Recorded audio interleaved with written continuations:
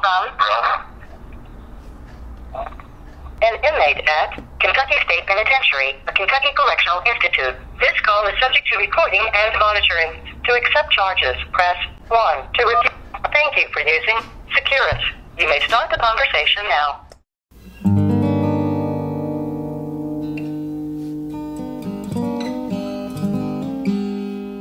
the most important thing that I've learned so far um, is, is the fact that I need to accept responsibility for who I am and my decision. You know, uh, nobody's at fault, I, regardless of what my reasoning was when I killed this man. Mm-hmm. It was wrong, period. And I, I can make up all kinds of excuses. Uh, well, he did this, so I had to do this. And that's all that is. They're excuses. You know, what I did, I made, I made a decision. It was wrong. It is just that simple. And Venerable Robina is a key to why I can sit back and I can look at it that way.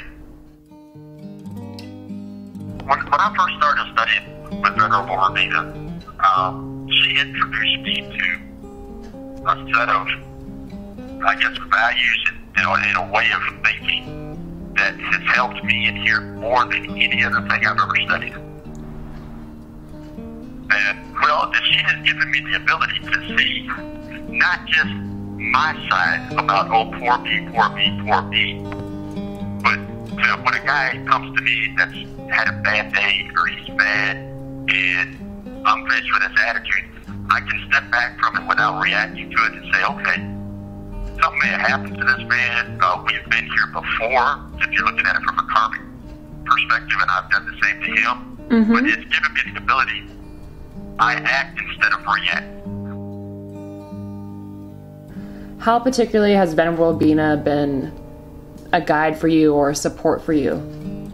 That's exactly what she's been. A, a guide. Uh, she listened to me all these years. I answered letters, uh, answered my questions, um, taken the answers that she's given me to my questions, and pointed me in directions of likely avenues of study or recommended or sent books and stuff that, you know, because of, I guess you would say, her greater experience with Buddhism and just life in general, she's been able to look at the problems I'm having and say, okay, this would help you.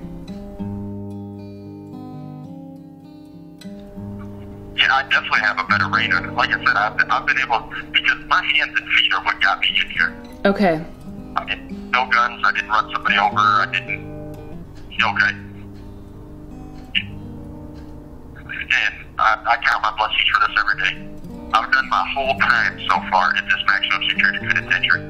I have never had a single fight. An old convict saying that I heard many, many years ago, there's two ways to do time. You can either do the time or the time can do you. I do my time. I am constantly occupied. I'm constantly looking for ways to occupy my mind. When I went to, to, to cell, I could sit down in there and I could put my entire focus on what I was doing. Uh, I wasn't worried about what this guy over here was doing or what that guy was over there doing or do I have to worry about these people approaching me, know, with some stupid stuff when I go to the hill? Because of the fact that I'm doing my time, you know, I'm not letting other people dictate to me about how I'm going to do it or anything like that because I've avoided all that stuff. And that's directly responsible, you know, responsible from the teachings that I received from her to be able to leave all that stuff behind and be able to apply the focus that I needed. Another thing I used to obsess over, uh, as I told you, you know, I am guilty. I actually made a bad decision. Right. okay? But I was really focused on, oh man, I'm doing 25 flat years on life. Okay, which means I have to do 25 calendar years on a life sentence.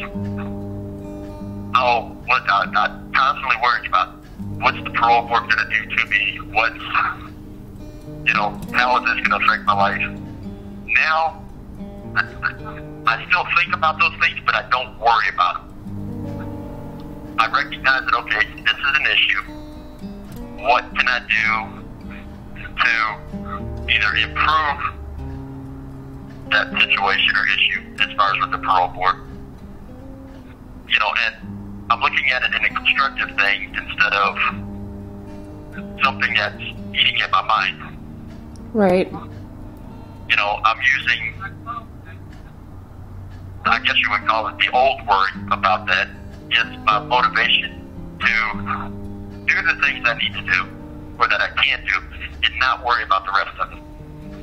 You know, uh, if I go up, I go up to 2018, if they give me parole, I'm going to be thankful for it.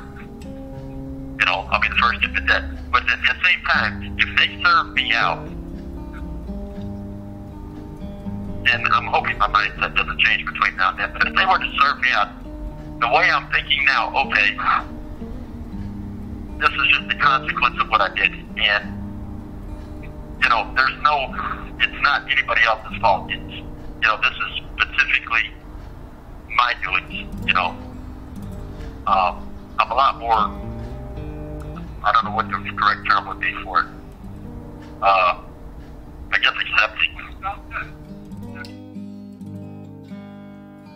Turn I once talked, you know, if I was to ever make parole, I, I think that the, the greatest thing I could ever do would be to find one of our, you know, our facilities who can make use of the skills that I have and just work for FPMT in whatever capacity. I wouldn't care if they wanted me to just drive her around. I could be her chauffeur.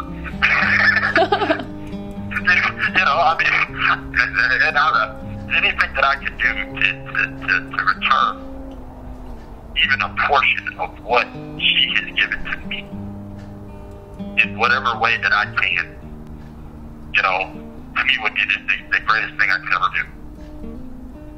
Mm. You know, I mean, if I can do that by, I, you know, anything that I could do, I mean, to me, I mean, it would be, it, it would be worth it because of what she has and her teachings have given to me. You know, in relation to doing this time. Well, there's no question in my mind that without meeting her, my life in here, if I was still living, would have been radically different.